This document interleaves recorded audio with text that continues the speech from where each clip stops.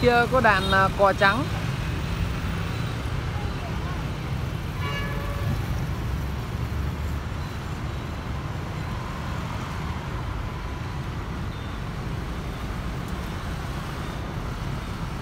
Bay lên mới cò rồi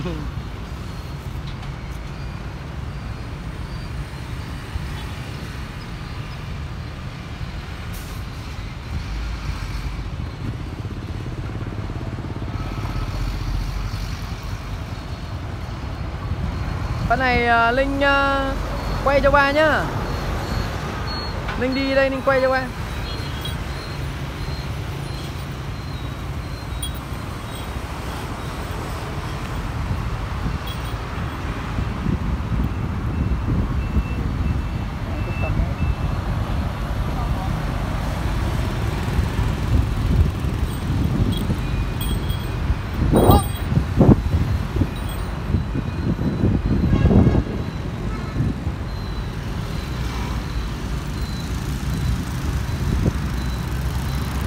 Ok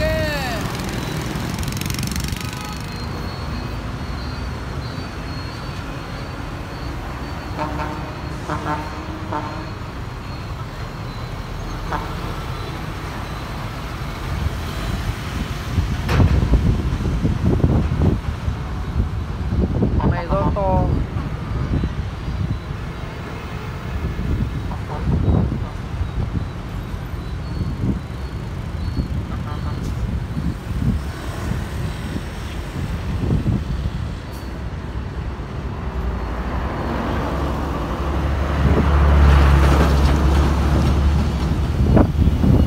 Ui giời.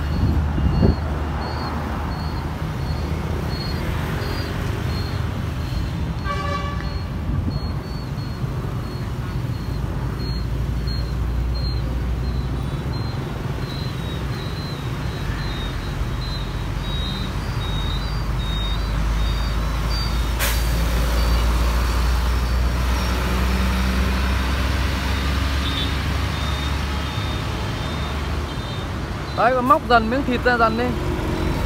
Móc dần thịt ra đi. Để cho nó thu gần vào đây. Đấy. Nhấc miếng thịt ra ngoài. Cho nó thu ờ, dơ cao lên Dơ mỗi thịt thôi.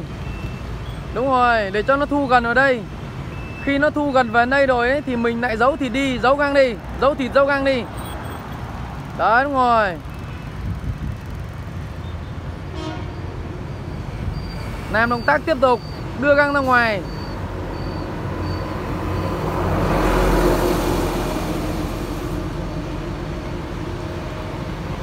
Dơ, dơ cái miếng mồi lên Để cho nó nhìn thấy.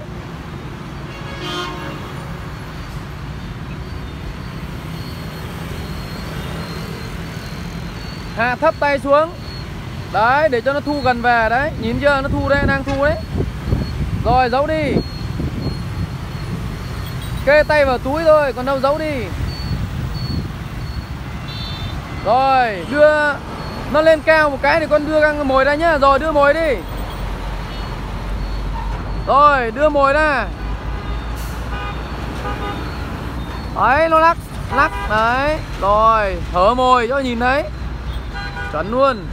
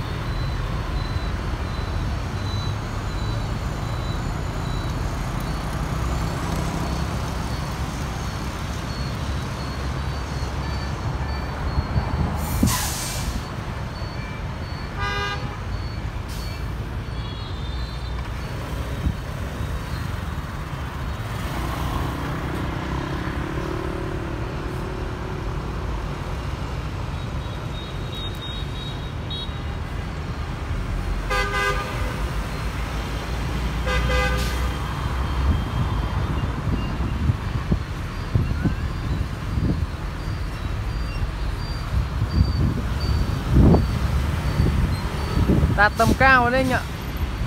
Rồi con gọi đi. Gọi tầm này nó đâm xuống cho nó sướng.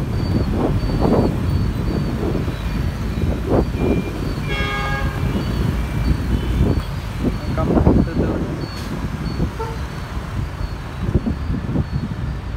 Đấy. Làm động tác đi. Để nó xoay mặt lại đó. Thóc xuống nhá đấy. Giời ơi, như tên lửa. Để nó kìa. Đấy. Xoay theo nó. Ui giời.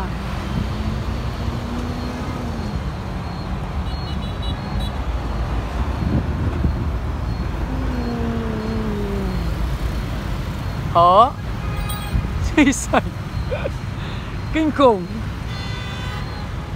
cảm xúc của phương linh thế nào?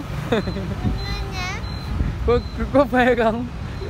Đó Vâng.